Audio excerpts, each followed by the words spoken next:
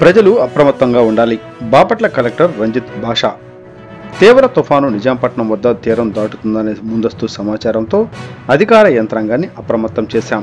జిల్లాలో ఇప్పటి వరకు ఎనిమిది వందల మందిని సురక్షిత ప్రాంతాలకు తరలించాం. పద్నాలుగు సురక్షిత కేంద్రాలు ఏర్పాటు చేశాం. మూడు ఎన్డీఆర్ఎఫ్ బృందాలు సహాయక చర్యలకు సిద్ధంగా ఉన్నాయి. బలమైన గాలులకు చెట్లు విరిగిపడినా కరెంటు తీగలు తెగిపోయినా వెంటనే స్పందించేందుకు బృందాలు సిద్ధం. ప్రజలంతా అధికారుల సూచనలు పాటించి తుఫాను ముప్పు తొలగే వరకు అత్యంత అప్రమత్తంగా ఉండాలి.